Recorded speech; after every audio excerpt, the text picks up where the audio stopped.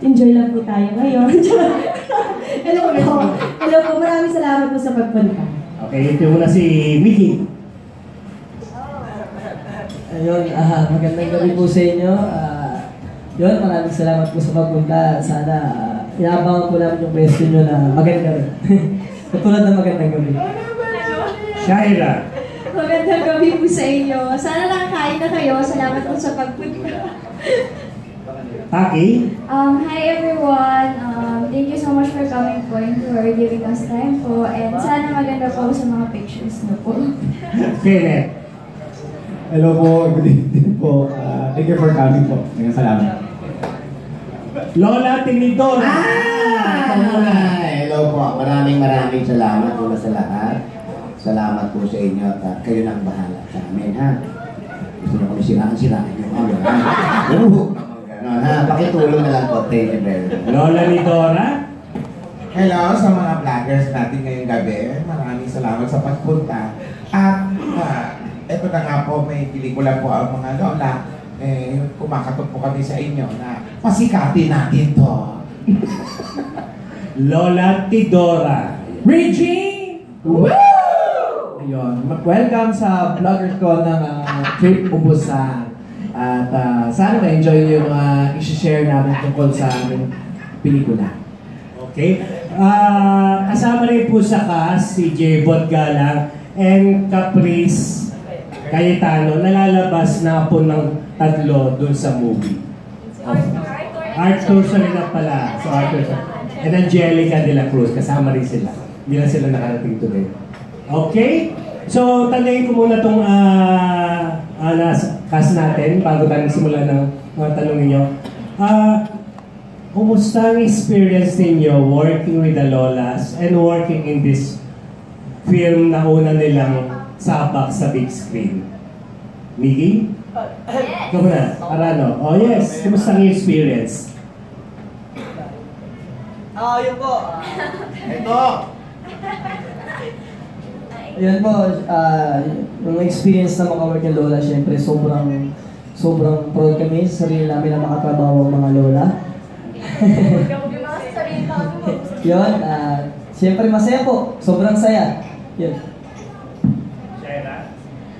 Ah, yun nga, ah, first movie nila, first movie din namin. So, ah, enjoy kami kasi ah, nalaman namin na comedy na siya. So, hindi lang comedy, kundi action pa. At horror pa. So, all-in-one na siya. So, maganda ang experience sa amin. Pang swerte namin. Kasi dream, sa for me, ah, dream, dream role ko kasi yung, yung makagawa ng action na at the same time comedy. Tapos, ayun, happy kami kasi sila yung nakasama namin. Aki. Um, for me po, um, nung nalaman ko po na sila po yung matrabaho mo, everything was very um, overwhelming po. And um, I'm that yung mga shootings po namin, hindi po namin nararamdaman yung pagod po. It was really fun and um, thank you so much po for taking care of us and always making jokes. Kenneth. Ah, super nakaka-overwhelm po sa amin kasi sa dami-dami pong artista na pwedeng gumanap po sa role namin, eh, kami po yung napili. At ayun, proud po sa ah, proud po ako sa sarili ko kasi maganda naman po yung outcome. Thank you. Archie, first time mo ba itong tatlo? First time mo? First time kong makasama yung magwelang tatlo. Okay, Archie. Parang akala mo, nung panahon mga TVJ, siguro may sarili silang brand of yung kanilang comedy at saka yung kanilang humor. Ah, marami kang matututunan. Ang kinaibahan lang is marami kang aral na mapag, ma, makukuha. Pero pinaka the best is yung enjoy dun sa ano, dun sa aming shootings. Eh, of course, Raisa hindi na bago. Pero may, dito ba, Raisa, may bago sa tatlong lolas na na-experience mo, naka, naranasan mo? Oo, oh, bago ba? Um, syempre po, bago po kasi may direktang kambing. Hindi, syempre, ano nga po, maraming aabangan na bago sa kanila po. Tsaka, super nag-enjoy po ako na kasama ko sila sa movie kasi first time din po. Tsaka, parang hindi naman po nakakapagod mag-shoot kapag kasama sila kasi puro tawa lang. Okay, lovely.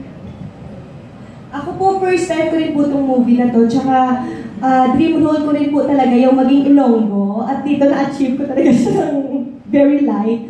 Ayun po, ang masasabi ko lang sa tatlong lolas, masaya kasi for, ah, aside sa nakakasama ko sila sa ibang show, dito kasi movie, so talagang matagalan kami nagsasama. At the same time dito, first time ko nakikita na yung mga lola umiiyak. Kaya kakaiba talaga ng movie na. Okay, ah yung tatlong lolas naman, ah how different is this film sa mga nagawa niyo ng mga guestings and then sa nakikita nila sa Bulaga dati sa Kalye Seryo? Alam niyo yung mga tanong niyo, nakakatakot, parang nakaburol na kami. Tapos isa-isa nagsasalita. Oo, di ba ganun? Parang may tribute kayo, di ba? Tri- Ang tawag po. tribute yata ito sa inyo. Ang tawag din yung iyak ng kamag-anak, yung share ng mga nangyari, pambihira. Yun yung Yun, pambihira mo, magbago ng mga. Hindi po, ah, kaiba. Kasi kaiba kami, may hindi naman, may nagawa na kami kasi tatlo. Yung kilabot, may nagawa namin kasi. Oo. Pero, Asan naman doon? Na kami yung tatlo lang yung bida rin, Oo. kami yung main. Dito kasi, hindi namin inaasahan na hindi pala puro comedy yung gagawin namin. Nung kinikwento pa lang yung, uh, yung script, kung paano tatakbo, nakita na namin na seryosohan pala ang actingan to. So, pag napanood nyo kasi, akala nyo, pati yung pag-away sa zombie, akala nyo ganun lang na duduran ng gano'n, mamamatay na hindi pala. So, kailangan pinapakita namin yung natural o yung totoong nangyayari para yung viewers mas makikita nila. Mahirap. Medyo nahirapan ka. Sa lahat ng ginawa naman itong mahirap na rin. Grabe, hirap. Oo, oh, naramdaman ko yan. Nakakatuwa nga eh. Yung, yung mga kasama natin, hindi nila hindi nila nararamdaman na mahirap yung show. Eh, ba't kami nararamdaman natin? Napapagod kami. Maghapon, magdamag ka ba naman nakaganito, di ka mahirapan. Oo, di ba? Parang hirap-hirap nun, di ba? Ganyan kayo. Naman. Matching confused. Kaya, oo. sa- Yes, yes. Alas Ah. 11 ng umaga, nasa initan ka na, nakaganito ka. So, kailangan mong ipakita, di ba, yung, yung acting namin. Maayos, maayos. Magandang lumabas yung pelikula. Ikaw. Yun, gaya, gaya yung sinabi ni Tinidora na in-expect namin na, ah, comedy to na, alam mo yun, hindi naman namin sinasabi na hindi siya comedy, pero more on a serious, uh, parang ganon. Pero syempre, May mahugod din. oo, tsaka, Diyos ko naman, pag nakita niyo ba kami, kayo matatawa eh. yun, yun, yun pa lang, di ba? Yun pa lang, di ba? Pero yun nga, um, parang pa-serious siya na hindi siya comedy na na zombie-zombie. Lola Tidora? Ani Dora? Yun, kumbaga parang kakaibang adventure ng mga lola ko. Ito, katulad ng mga nagawa namin na kay Bossing. Yung dati, action-action, may mga powers. Dito wala.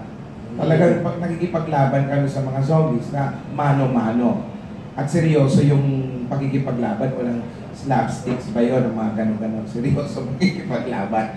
Ah, yun, yun nga talagang nakakatawa doon na seryoso nakikipaglaban yung mga lola habang naka-wig, naka-quintas, naka-gloves. Ah, yun po ang Yun mahirap. nakakatawa na yun. Pero may istorya po dahil yung mga characters namin dito na akala nyo nga, sabi nila, first movie nila pero hindi nyo po mahalata kasi magkagaling, mauhusay at nakikinig talaga sa director. At ah, may mga istorya po ang bawat karakter na matututunan din po kayo, matutuwa kayo sa pelikula. Hindi, curious lang kung sa